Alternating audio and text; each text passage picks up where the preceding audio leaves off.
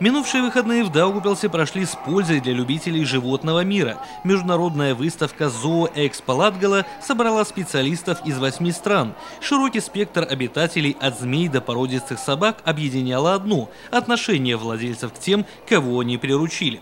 Для одних это шоу, для других – ежедневный кропотливый труд. Понимание расхожей поговорки здесь воспринимается всерьез. Именно разноплановость мероприятия, по мнению организаторов, помогает отойти от внутренних рекордов убежденных юных профессионалов.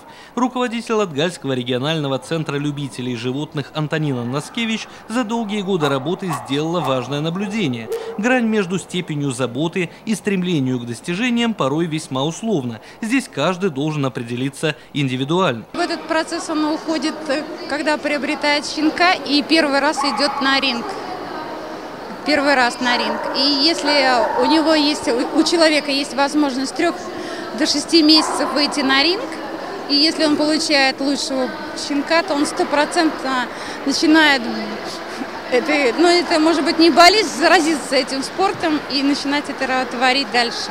Кубки – строгая оценка удел судей и посвященных. Рассуждая о неизбежных вложениях, специалисты проводят доступную аналогию. Если вы хотите, скажем, иметь грамотную, послушную и морально устойчивую собаку, придется пройти тот же путь, что и при воспитании ребенка. Что посеешь, что и пожнешь. В друга надо вкладывать силы и душу, только тогда можно добиться реальной отдачи. Самое главное, если решили завести питомца, не руководствуйтесь исключительно эмоциями. Почему вопрошают профессионалы, люди люди анализируют предстоящую покупку машины или, скажем, предметов обихода, а заводя животное, поступают по-другому. Очень бы хорошо бы обратиться в какие-нибудь кинологические организации, чтобы понять, подходит ли эта данная порода в наш уклад жизни семьи. Потому что очень часто спонтанно увидев щенка «хочу, покупаем», а потом оказывается у нас нет ни условий содержания, нет времени физического и вообще непонимания совсем другое. Когда люди обращаются, им мы четко помогаем объяснить, что ну не ваша эта порода, может быть.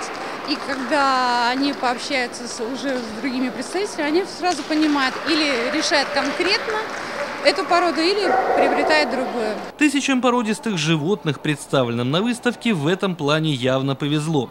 Посетителям даже показали стилизованное модное дефиле.